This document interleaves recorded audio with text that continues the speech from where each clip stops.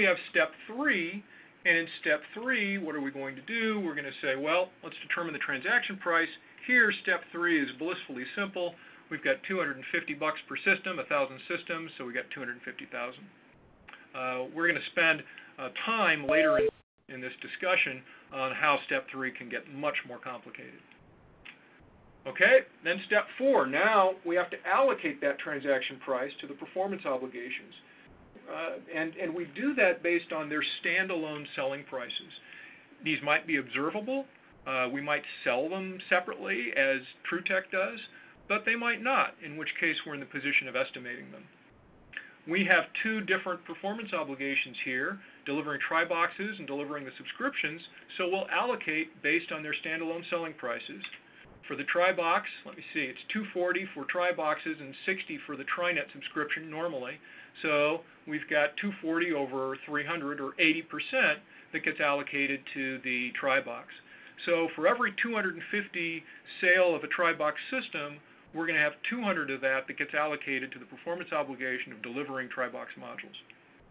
And then we've got the TriNet subscription, which gets the rest, 60 over 300 or 20%. And so we've got this allocation process that's inherent, and we have to do that allocation unless you know there's there's pretty clear evidence that any discount of price from a, uh, a package deal only relates to one of the performance obligations. Okay, and then what do we do? Well, now we really treat these things separately.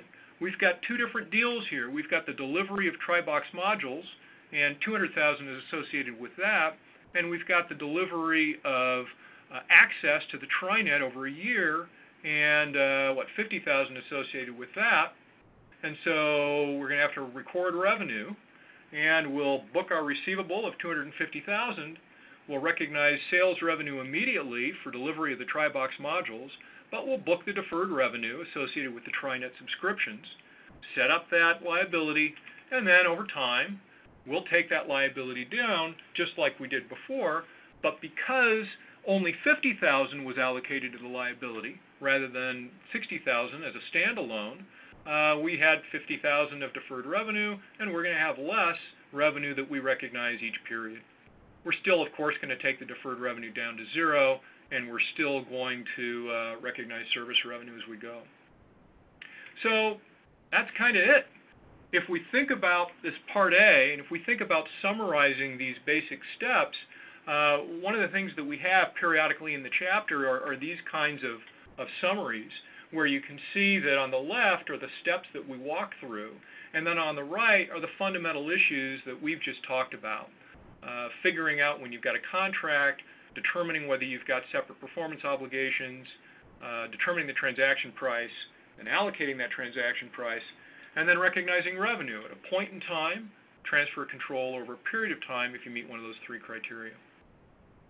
So that's kind of part A. And one way to think about this is if an instructor is just trying to give a flavor for this new standard, uh, part A is pretty easy to teach, particularly if they already understand the basics of recognizing revenue at a point in time and over a period of time. Uh, and of course, if someone has already been teaching multiple deliverable contracts, like EITF uh, 0021, this is basically the same approach. There's an allocation of the transaction price and then recognizing revenue associated with the pieces. So uh, we think this is a pretty nice way to introduce people to uh, the new standard, and, and, and if they want, at this point, they can stop. But boy, there's a lot more to it. So uh, let's think about some of the other things that are going on in the standard and that therefore we include in our Part B. Uh, what I've got here are, are the steps and, and uh, thinking about issues that come up with each of these steps. And that's actually how Part B is is uh, uh, organized because the idea is to help students plug into that five-step framework. So step one, you know, there's some specific requirements associated with determining whether whether you have a contract or what are the characteristics of a contract. Uh, step two, uh, that remember was figuring out your your separate performance obligations, and there are some things that are tricky here. Uh, how do you deal with prepayments? Uh, quality assurance or extended warranties, customer adoption uh, options for, for, for different stuff.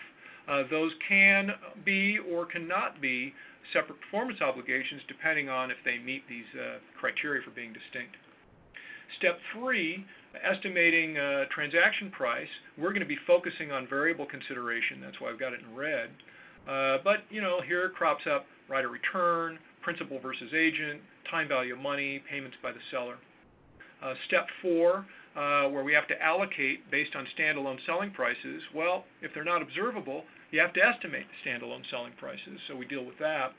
And then step five are lots of sort of troublesome contractual features that affect the timing of revenue recognition. So license arrangements, those can get complicated. Uh, dealing with franchises under this new standard, bill and hold arrangements, consignments, gift cards. And then finally, a, a big thing with this new standard is disclosure. Uh, I think one of the things that in practice people are most scared of is just the volumes of disclosure that the standard seems to be requiring. Uh, and so we, we walk through that, but frankly, that's going to be something that, that gets nailed down and develops over the next couple of years as, as this standard comes online.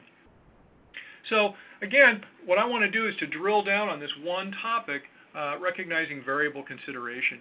And so with variable consideration, what we're thinking about is, is that part of the transaction price depends on the outcome of some future event.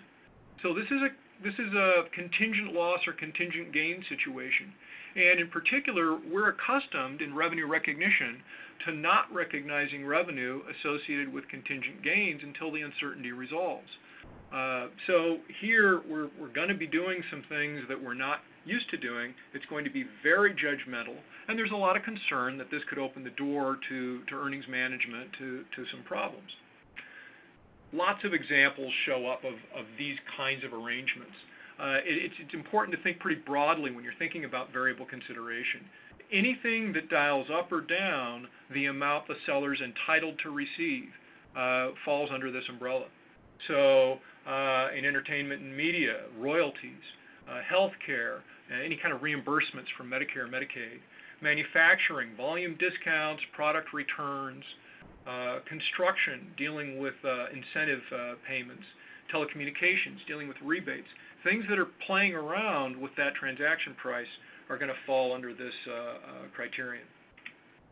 And, and the standard specifies that what we need to do is go through uh, either an expected value or most likely amount estimation uh, approach, uh, depending on what the, the person thinks is most appropriate for the contract, which is pretty interesting because some people I know would say an expected value is always more appropriate, right? So, so there's, there's judgment just in figuring out what approach to use to estimate uh, variable consideration, let alone the inputs to that. So, so let's walk through that. And uh, coming back to TrueTech, let's just create a, a contract, and then we're going to uh, account for variable consideration on that contract. So TrueTech enters into a contract with ProSport Gaming to add ProSport's online games to the Tri network. So ProSport offers a popular game, a brawl of bands, and wants uh, games like that offered on the TriNet so that ProSport can make money selling stuff to people who use the game, selling gems and weapons and health potions and other game features. And if you've got kids that play these online games, you know that this stuff gets very expensive very fast. And, and ProSport's business model is to get their games out there so they can sell this stuff.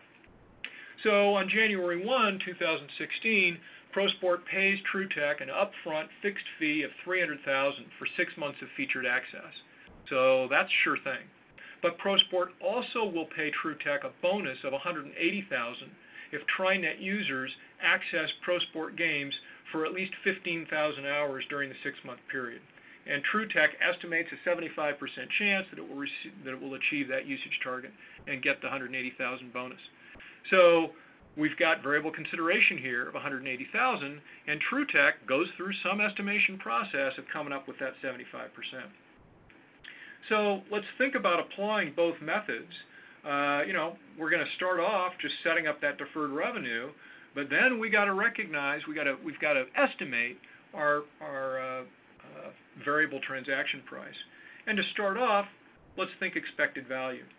So we all know how expected values work. You have various possible amounts, and you multiply those by their probabilities to come up with the probability adjusted expectation. So first off, if we think about this, there's one state of the world where TrueTech gets the bonus, So they get the 300,000 base fee plus 180,000 bonus, taking them to 480,000. Multiply that by the 75% price, and or sorry, 75% probability, and that gets us a probability adjusted expectation of 360,000. That's one alternative. The the sadder part is where we only get 300,000 because our bonus is zero. There's a 25% chance of that happening. So 300,000 times 25%, that takes us to 75,000, and our total expected amount here is uh, what 435,000. And so what we're going to do is we're going to uh, have that be the transaction price that's uh, used to estimate revenue. Now, second, we can think in terms of the most likely amount, and if we're dealing with this as the most likely amount, we're going to have, uh, well, it was a 75% chance of 480,000, and so I've got 300 plus 180 is my 480,000. Let's assume that that's the approach that they use to recognize revenue. They base it on this most likely amount. So that means at time zero, they're going to be saying, well, our total transaction price here is going to be 480,000 bucks. And so each period, we're going to recognize a sixth of 480,000 or 80,000 as service revenue. And that means that we're not only going to be taking down that deferred revenue account for 50,000, but we're also going to be recognizing a bonus receivable of 30,000 each period, and we'll be booking that thing over time. And that's sort of what's really interesting about this new standard is that you can see that even though this bonus hasn't been reached, we're building uh, a bonus receivable and we're recognizing revenue for it. And that's pretty different from what we're used to seeing under current GAAP there's a couple of different outcomes that could occur here. One possibility is they get the bonus. So they accumulate this thing up to 180,000 and at the end of the 6-month period they take down their receivable and they get cash of 180. So one way to think about that is well that's a that's a world in which their their estimate of variable consideration was correct. The the downside here is that the estimate of variable consideration was incorrect. And so we build this bonus up over time, taking it to 180, but now we're going to reduce service revenue, uh, debiting down the revenue rather than debiting up a cash asset. Because at the end here is when we realize, oh, we're not going to get the bonus, and so that adjustment happens basically prospectively to revenue. So you can see that there's the potential for some uh, some revenue uh, shifting here. Let me just check in. Dave, am I doing okay on time? Yeah, Mark, you got about 18 minutes. Oh, beautiful. Okay, that's great. All right, thanks. Uh, I'll, I'll, I'll just keep rolling along. Okay, so now uh, let's think about a situation where partway through this contract we get new information, so our estimate changes, right? I mean, so far what we've been assuming is that they estimated this 75-25 probability split, and they just kept cranking under that. But what if what if things change?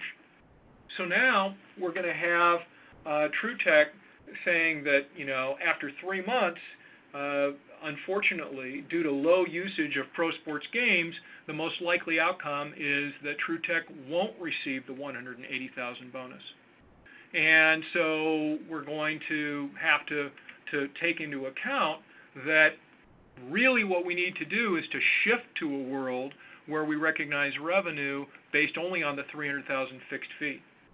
So three months have gone by. If you look at the bonus receivable account on the left, you can see that we've got 30,000, 30,000, 30,000. So we've accumulated 90,000 of bonus receivable. And if you look at the service revenue on the right, we've got 80, 80, 80 because we've been assuming we're going to get that bonus. Now in month four, in April, we say, uh-oh, uh, we've got to make an adjustment here. Uh, turns out that we need to take our bonus receivable down to zero and we need to adjust service revenue down. And so you've got a journal entry where you're debiting down revenue and taking that bonus receivable down to zero. And then in subsequent periods, what are you going to do?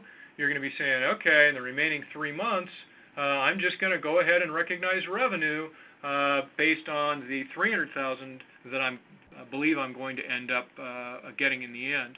and you can see that eventually you accumulate to having recognized 300,000 of revenue. And so, you know, in some ways this feels very normal because we're sort of prospectively adjusting an estimate over time. It's just, you know, it's an estimate of a, of a contingent gain, and we're not used to seeing that. So, as you can imagine, this is something that was making people nervous uh, as the ASU was being drafted, as it was going through this whole uh, uh, process of being developed. And so, fairly late in the game, it seemed to me, a constraint got introduced to limit how much revenue shifting would occur because of people making aggressive estimates up front that they then revise down later on. And that brings in this constraint on recognizing revenue. Uh, and so the constraint basically says that you're only allowed to recognize revenue associated with variable consideration if uh, it is probable that a significant revenue reversal will not occur when the uncertainty associated with the variable consideration is resolved. And so if you think about that, what it's really sort of saying is, you know, it has to be probable. Your estimate has to be good enough that uh, you're not going to be taking us someplace that, that results in this big uh, uh, shift, this big adjustment down of revenue uh, later on in the game. And, and of course, this is one of these judgmental criteria. I think it's going to be very interesting to see how this plays out with auditors, how aggressive or conservative firms are in determining whether or not the constraint applies. Uh, there's an indicator model used to determine whether the constraint uh, applies. Uh, so what are what are circumstances that suggest that that, revenue reversal could could occur? Uh, poor, sort of limited evidence on which to base an estimate, dependence on the estimate uh, of the estimate on factors outside the, the seller's control, a history of the seller changing payment terms on similar contracts, broad range of outcomes, long delay, basically all the sorts of things that you would think would make it difficult for a seller to know what's going to happen. And uh, as we crank up that uncertainty, uh, we crank up the concern that a significant revenue reversal could be probable, and therefore the constraint could apply, which would prevent uh, the seller from recognizing revenue until they determine that, that that probability constraint's been satisfied. So just to see how that works, let's play with our contract again. Let's assume that TrueTech initially concludes that it's not probable that a significant revenue reversal will not occur in the future. So sorry for the double negative, but the basic idea here is the constraint is applying. They don't think they can argue successfully that it's probable that they're not going to have that significant revenue reversal in the future. So they're going to start off recognizing revenue each month based on the 300,000 initial uh, uh, fixed fee. So taking down deferred revenue and recognizing service revenue. Now assume that after three months, uh, TrueTech concludes that it now can make an accurate enough bonus assessment for uh, it to be probable that a significant revenue reversal will not occur. And they are still estimating the bonus as the most likely amount. They're still estimating a 75% likelihood. Well, then what do we have to do? We have to do sort of the opposite of the adjustment we saw previously. Now we have to say, oh, we got to catch this thing up. We got to put 90,000 of bonus receivable on the books, have this bump to service revenue, and then in the last three months, we're going to be recognizing the takedown of deferred revenue of 50. We'll be accruing bonus revenue of 30 and, and recognizing service revenue of 80. So, so you can see, see that this is being handled prospectively too, uh, but once that constraint is viewed as no longer necessary to be in place, then we're going to get a little bit of a, of a, of a bump in revenue, truing things up to where they'd be if the constraint had never been in place.